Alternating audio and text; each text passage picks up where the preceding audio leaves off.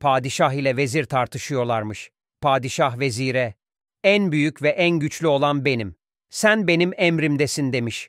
Vezir, hayır ben büyüğüm. Ordunun başında ben savaşıyorum. Sen sadece konuşuyor, mühür basıyorsun diye itiraz etmiş.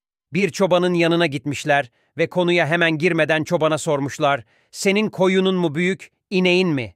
Çoban şaşırmış. İneğim demiş. Keçin mi büyük, öküzün mü? Çoban hemen cevap vermiş. Öküzüm tabii.